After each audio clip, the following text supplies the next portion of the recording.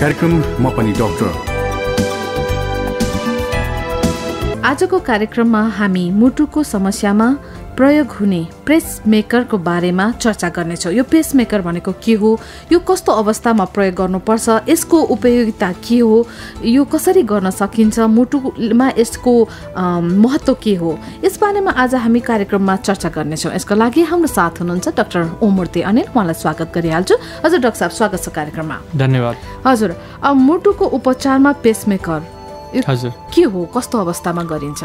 Pacemaker भनेको हामी अब लेम्यानले यसलाई मुटुकोमा ब्याट्री भनेर बुझ्ने गर्दछन्। अब जस्तै मुटु हाम्रो सामान्य मानिसको मुटुको चाल मिनटमा साठीदेखि सयचोटि हुनुपर्छ। सामान्यतः हेर्दाखेरि सेभेन्टी टू भन्ने गरिन्छ। प्रति मिनट बहत्तर चोटि मुटु धड्किनुपर्छ र साठीभन्दा कम हुनु असामान्य मानिन्छ। त्यसै गरी सयभन्दा बढी हुनु पनि असामान्य मानिन्छ। अब कहिलेकाहीँ हामी रेस्ट गरेको बेलामा सुतेको बेलामा मुटुको चाल साठीभन्दा मुनि पनि जान्छ जस्तै पचास पनि हुनसक्छ। त्यसै गरी आत्तिएको बेलामा एक्सर्साइज गरेको बेलामा ज्वरो आएको बेलामा सयभन्दा माथि पनि हुन्छ। त्यो पनि अब एक हिसाबले सामान्य नै मान्ने गरिन्छ। तर जब मुटुको चाल सय साठीभन्दा कम हुन्छ कुनै कारणले। र विशेष गरेर जब धेरै तल झर्न थाल्छ भनौँ न चालिस तिस वा कुनै कुनै बेला मुटु चल्दै नचल्नु। अब ग्याप देखे मुटुको चालमा अचानक ठुलो ग्याप हुनु। अब जस्तै तिन सेकेन्डभन्दा बढी ग्याप भयो भने एउटा सपोज एउटा एउटा व्यक्तिको मुटुको चाल साठी पर मिनट छ भने एक सेकेन्डमा एउटा मुटु एकचोटि मुटु धड्किनुपर्छ। तर कहिलेकाहीँ के देखिन्छ भने मुटुभित्र जुन संवेदना हुन्छ संवेदनाको प्रवाह भइरहेको हुन्छ इलेक्ट्रिकल सर- सर्किट जुन हुन्छ त्यसमा केही समस्या भयो भने यो मुटु निरन्तर रेगुलर जुन चल्नुपर्ने हो एक एक सेकेन्डमा त्यो चल्दैन। कहिलेकाहीँ डेढ सेकेन्डमा कहिले दुई सेकेन्डमा कहिले तिन सेकेन्डमा वा सोभन्दा पनि बढी कहिलेकाहीँ दस सेकेन्ड बाह्र सेकेन्ड ग्याप भएका पनि बिरामी देख्छौँ। त्यो मुटु नचलेको बेलामा मुटुको भनौँ न जुन पम्पिङ हुन्छ हामीले मुटुले जुन पम्पिङ गर्छ अनि। रगत जुन ब्रेनमा जानु पर्यो। अनि त्यो मुटु नै पम्प गरेन भने ब्रेनमा मस्तिष्कमा रगत जाँदैन अनि मान्छे बेहोस भइहाल्छ। भन्नाले मुटुको चालमा कमी भएर मान मानिस बेहोस हुनु वा बेहोस जस्तो बेहोसभन्दा अगाडिको अवस्थामा आउनु वा एकदम स्वासा हुनु थकाइ लाग्नु वा मुटु नै कमजोर भइहाल्नु यस्ता लक्षणहरू जब देखा पर्न थाल्दछन् त्यस्तो बेलामा कृत्रिम यन्त्रको आवश्यकता हुन्छ जुन यन्त्रलाई पेसमेकर भनिन्छ। यो यन्त्र हामीले मान्छेको ज शरीरमा हालिदिन्छौँ र यसले के गर्छ भने मुटुलाई साठीभन्दा तल मुटुको स्पिडलाई साठीभन्दा तल आउन दिँदैन। जब मुटु व्यक्तिको बिरामीको आफ्नै मुटुको चाल जब घट्छ अनि यो पेसमेकरले काम गर्छ। अर्थात् कुनै यो पेसमेकर जब मानिसको शरीरमा हामी इम्प्लान्ट गर्छौँ त्यो बेला यसले मुटु आफै चलिरहेछ भने वेट गरेर बस्छ र आफै जब साठीभन्दा कम हुन्छ भने हामी अनि पेसमेकर काम गर्न थाल्छ। अनि यस अर्थमा के हुन्छ भने बिरामी बेहोस हुँदैन। कहिलेकाहीँ मुटुको चाल धेरै बेरसम्म ग्याप भयो भने मान्छेको मृत्यु पनि हुनसक्छ। हामीले यस्ता धेरै केसहरू हेरेका छौँ। तर त्यसैले यो पेसमेकर भनेको एउटा लाइफ सेभिङ उपचार हो। बिरामीको ज्यान जोगाउन मद्दत गर्छ। तर यसमा कुन किसिमको पेसमेकर हाल्ने हो कस्तो बिरामीलाई पेसमेकर हाल्ने कस्तोलाई नहाल्ने र कुन तरिकाले हाल्ने धेरै यसमा कम्प्लिकेटेड कुराहरू हुन्छ जुन हामी बिरामीलाई अलि स- अ, श्रोतालाई अलिक सहज रूपमा हामीले बताउन हजुर। भनेपछि मुटुको चालमा हुने गडबडीको समस्या। होइन एक प्रकारको यो पनि मुटुको समस्या भयो मुटुकै समस्या हो। होइन। मुटुको चालमा हुने गडबडीको समस्यालाई कृत्रिम औजार भनौँ न यसलाई। पेसमेकर हालेर हाम्रो चाललाई सही रूपमा राख्ने एउटा प्रविधि हो। पेसमेकर।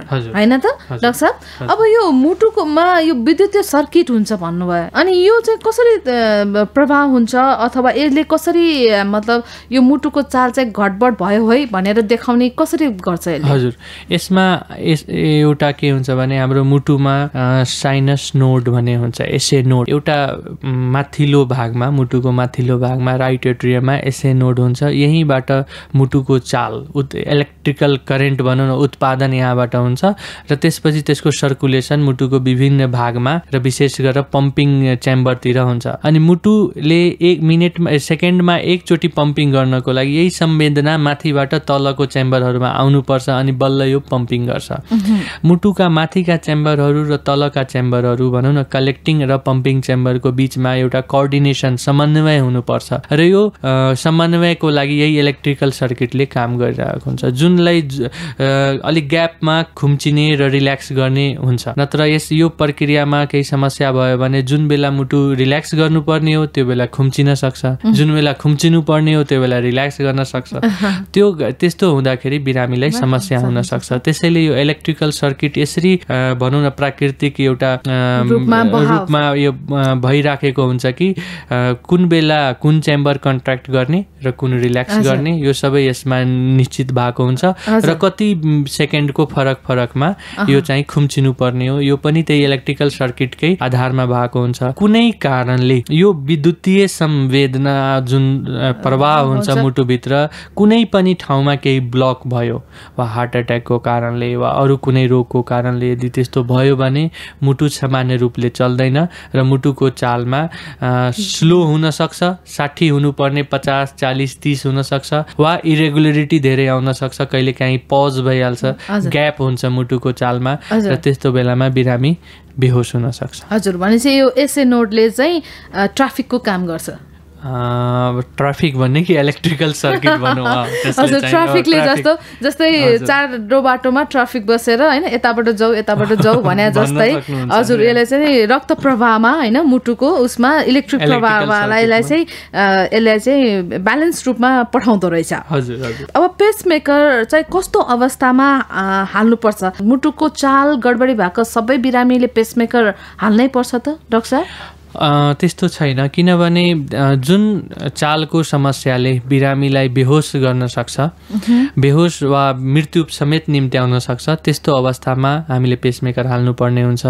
वा मुटुको चालमा समस्या भएर कहिलेकाहीँ मुटु कमजोर हुने वा बिरामीलाई धेरै समस्या हुने श्वास हुने वा मुटु ढुकढुक हुने त्यस्तो अवस्थामा पनि हामी पेसमेकर हाल्नुपर्ने हुन्छ। यो पेसमेकर दुई किसिमका हुन्छन् टेम्पोररी र पर्मानेन्ट। टेम्पोररी र पर्मानेन्ट दुई किसिमका हुन्छन्। कहिलेकाहीँ सामान्य कारणहरूले पनि मुटुको चाल घट्ने वा मुटुको चालमा गडबडी आउने हुन सक्छ। यस्तो अवस्थामा टेम्पोररी पेसमेकर हालेर बिरामीलाई इमर्जेन्सी केही भनौँ न दुर्घटना हुनबाट बचाउन सकिन्छ। र पछि त्यो समस्या त्यो कारण आफै ठिक भयो भने वा कुनै औषधिले त्यसलाई करेक्ट गर्न निर्मूल गर्न सक्यो भने त्यो टेम्पोररी पेसमेकर झिकेर झिक्न मिल्छ र बिरामीलाई पर्मानेन्टको आवश्यकता हुँदैन।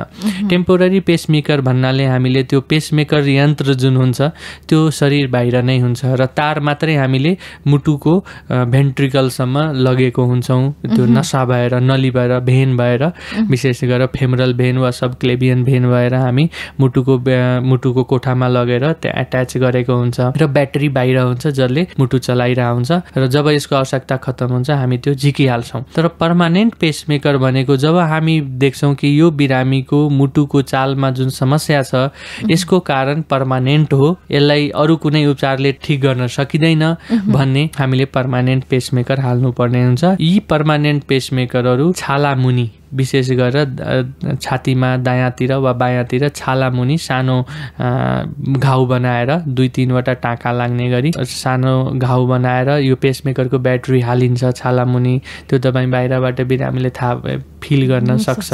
हामीले जुन पर्मानेन्ट पेसमेकर हो यसलाई छाला मुनि छातीको दायाँ भागमा वा बायाँ भागमा राखिने गरिन्छ सानो घाउ बनाइन्छ जसमा दुई तिनवटा टाँकाको प्रयोग गरिन्छ। पहिला हामीले के गर्छौँ भने एउटा हाम्रो जुन सब क्लेभियन भेन हुन्छ जसको कनेक्सन मुटुसम्म गएको हुन्छ त्यो सब क्लेभियन भेनमा हामी एउटा तार लिड भन्छ त्यसलाई पेसमेकर लिड त्यसलाई तारलाई हामी मुटुको भेन्ट्रिकल कोठासम्म पुर्याउँछौँ र त्यहाँ एट्याच गरिन्छ वालमा भित्तामा अडाइन्छ। अनि त्यो तारलाई हामीले ब्याट्रीसँग कनेक्ट गरेर छालामुनि राखिदिन्छौँ अनि यसलाई घाउलाई सिउने गरिन्छ। यो उपचार गर्दा बिरामीलाई बेहोस नगरिकन लट्याउने सुई दिएर गर्ने गरिन्छ। खासै यसमा दुख्दैन र आधा एक घन्टा जति यो यो उपचार गर्न टाइम लाग्छ। भन्नाले यो पर्मानेन्ट पेसमेकर हो। हजुर। जस्तै डाक्टर साहब अब सुन्नमा आउँछ बिरामीहरू पेसमेकर राखेका बिरामीहरूले चाहिँ धेरै कुरामा ध्यान पनि दिनुपर्छ उठ्दा बस्दा खोक्दा ओर्दा पनि कहिलेकाहीँ छुट्टिने समस्या पनि आएको भन्ने छ त्यसले गर्दा के के छ डाक्टर साहब? कतिको? कहिलेकाहीँ के हुन्छ भने यो हामीले जुन अड्काएको हुन्छौँ मुटुभित्र त्यो युजली केही दिनपछि त्यो आफै निस्किने चाहिँ सम्भावना हुँदैन। किनभने आजभोलि स्क्रु टाइपको लिड पनि पाउँछ जसले हामीले मुटुको भित्तामा त्यसलाई स्क्रु गरिदिन्छौँ। अनि त्यो निस्किने सम्भावना एकदम कम हुन्छ। र कहिलेकाहीँ के हुन्छ भने जतातिर पेसमेकर हालेछ भनौँ न राइटतिर छ भने त्यो राइट ह्यान्डबाट एकदम भारी वजन उठाउने वा राइट ह्यान्डले झुन्डिने कुनै ठाउँमा वा अचानक बिरामी लड्ने त्यस्तो केही दुर्घटना हुँदाखेरि हामी भेटाएको छौँ केसहरू कि पेसमेकरको तार आफ्नो पोजिसनबाट बाहिर आएको त्यस्तो घटनाहरू देख्छौँ।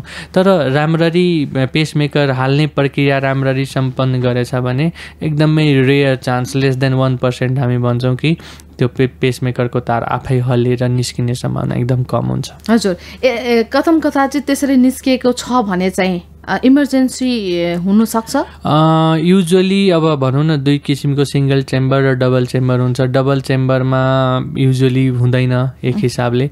तर सिङ्गल चेम्बर पेसमेकरमा कहिलेकाहीँ हुनसक्छ। इमर्जेन्सी पनि हामी पेसमेकरको तार हल्लिएर बिरामीलाई इमर्जेन्सीमा ल्याएको पनि घटनाहरू हुन्छ। त्यो हुनसक्छ। अ, त्यो बेलामा बेहोस हुन्छन्। बेहोस। हुनसक्छ बिरामी। र त्यसले गर्दाखेरि हृदयघात अथवा हृदयघात त हुँदैन बेहोस मात्रै हुनसक्छ मतलब अ, मृत्यु नै हुन सक्ने। मृत्यु हुने सम्भावना एकदम रेयर हुन्छ। रेयर हुन्छ पेसमेकरमा चाहिँ। किनभने कतिपय घटनाहरू हामीले सुनेका छौँ कि पेसमेकरको कारणले निस्केर मृत्यु भयो यसमा के हुन्छ भने एउटा टेक्निकको कुरा आउँछ र अर्को बिरामीले पनि कहिलेकाहीँ भनौँ न जुन प्रिकसन भनिएको हुन्छ त्यो नगर्दाखेरि समस्या भएको देखिन्छ। त्यसो भए डाक्टर साहबले भन्नुभयो सिङ्गल च्याम्बर र डुएल च्याम्बर यो चाहिँ। कस्तो किसिमको हुन्छ? सिङ्गल चेम्बर भनेको मुटुको चारवटा कोठामध्ये एउटा कोठामा मात्रै हालिने गरिन्छ।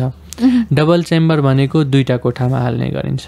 यसमा के फरक छ भने सबभन्दा पहिला सिङ्गल चेम्बरको भनौँ न कस्ट कम हुन्छ। डबल चेम्बरको कस्ट धेरै हुन्छ लगभग अढाई गुणा तिन गुणासम्म हुनसक्छ अब भनौँ न हाम्रो देशमा सिङ्गल चेम्बर एक लाखमा पर्छ भने डबल चेम्बर अढाई लाख जति पर्छ पेसमेकरको तर यसमा फरक चाहिँ के छ भने विशेष गरेर आयु चाहिँ दुइटै पेसमेकरले दसदेखि पन्ध्र वर्षसम्म काम गर्छ। आयुमा ब्याट्री लाइफ सिमिलर हुन्छ।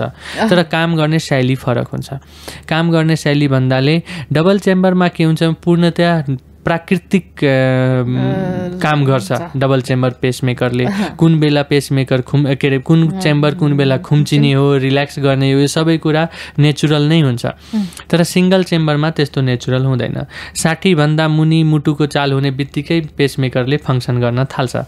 तर डबल चेम्बरमा त्यस्तो हुँदैन। डबल चेम्बरमा कुन किसिमको म, पम्प पम्पिङ गर्नुपर्ने हो त्यो सबै पूर्व निर्धारित गरिएको हुन्छ र आवश्यकता अनुसार मात्रै त्यो मुटुको त्यो पम्पिङ गर्ने भएको कारणले बिरामीको लागि बढी उपयोगी मानिन्छ डबल चेम्बर पेसमेकर। तर यो डबल चेम्बर पेसमेकरको टेक्निक अलिकति भनौँ न सबै डक्टरले यसको अनुभव हुँदैन यसको हाल्ने डबल चेम्बर पेसमेकर हाल्ने।